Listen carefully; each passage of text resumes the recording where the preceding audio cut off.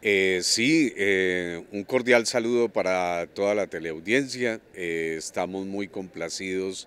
de ir cerrando este 2022 con la reapertura de los servicios de salud del Hospital Santa Ana de Pijao, que desde comienzos de esta misma vigencia tenía dificultades financieras, dificultades jurídicas. Eh, que no, permitieron que los recursos que el departamento eh, destinados y ordenados por nuestro gobernador, el doctor Roberto Jairo Jaramillo Cárdenas, eh, pudieran ser transferidos por la misma situación pues, financiera del hospital. Pero que gracias también a un esfuerzo que hace la nueva gerencia del hospital, eh, se ponen al día en sus parafiscales y nosotros como departamento eh, ya eh, también podemos transferir esos recursos. El viernes pasado la Secretaría Departamental de Salud del Quindío hace su visita de inspección, vigilancia y control y levanta la sanción de cierre de servicios eh, lográndose el día de antier eh, hacer la reapertura de los mismos en el registro especial de prestadores de servicios de salud, lo que oficialmente pone al Hospital Santa Ana de Pijao eh, nuevamente con la posibilidad de prestar los servicios de salud de primer nivel allí en este importante municipio. Bueno, siempre ha sido un propósito de esta administración de tú y yo somos Quindío,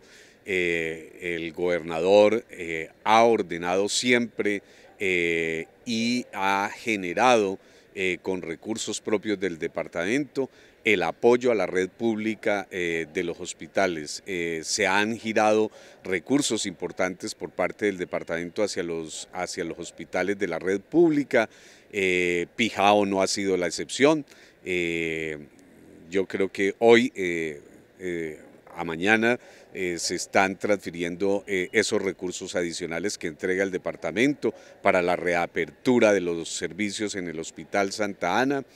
Eh, igualmente la Administración Departamental de Tú y Yo Somos Quindío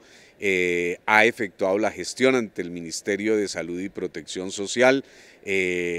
consiguiendo en este último trimestre del año 2022 el levantamiento de estatus de hospitales eh, liquidados o a ser liquidados que estaban en el documento de red eh, del año 2014. Esto también lo, lo gestiona y lo consigue la administración departamental.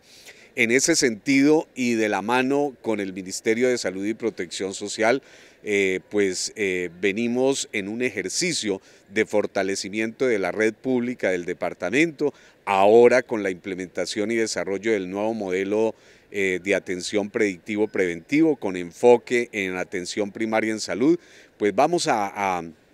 entrar en una etapa nueva eh, de renovación de todo lo que es la red pública de los hospitales eh, de nuestro departamento y seguramente vamos a conseguir ese fortalecimiento eh, tan anhelado para los hospitales y que esta administración departamental de tú y yo somos Quindío lo ha tenido claro desde el primer día.